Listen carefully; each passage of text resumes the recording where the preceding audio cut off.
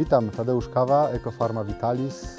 Y, Znajdujemy się tutaj na gospodarstwie y, ekologicznym, y, które prowadzę włącznie z partnerką i z córką od y, 2005 roku.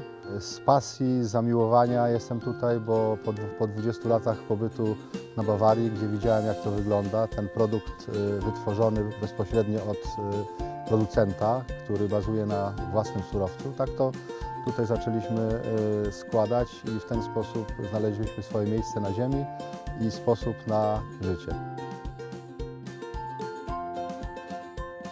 Hodowla bydła mięsnego to jest podstawa tego gospodarstwa. Z tego mięsa wyprodukowanego robimy y, z wołowiny wspaniałe kiełbasy, szynki, tak zwane pastrami wołowe.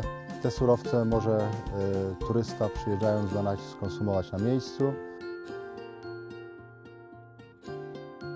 Oprócz bydła hodujemy też y, kozy, owce, koniki. Przyjeżdżając tutaj macie Państwo kontakt bezpośrednio z naturą. To są tereny dawnych Prus Wschodnich.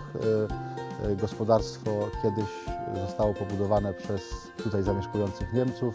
No cóż, ja tylko mogę e, e, zaprosić do, do siebie, e, popatrzeć jak te krówki sobie tutaj chodzą, jedzą tą ekologiczną trawkę, a potem zaprosić do stołu, żeby popróbować e, czy tego, jak wspomniałem na początku, pastrami wołowego.